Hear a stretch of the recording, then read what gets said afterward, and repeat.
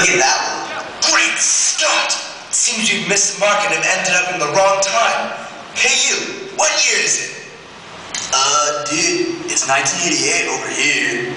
Well, what year are you in? Gee, mister, it's 1958. Golly!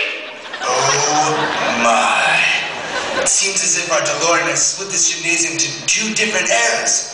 If we stay here much longer, the space-time continuum will be disrupted forever. We have to leave now.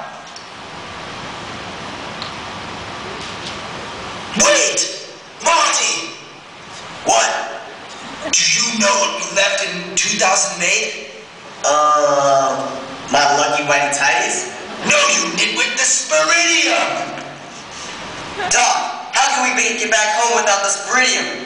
I got a girl back in 2008. Why, how about one of these students, Monty? I bet one of these fine people could generate enough spirit to get us back to 2008. Hey, how about that girl over there?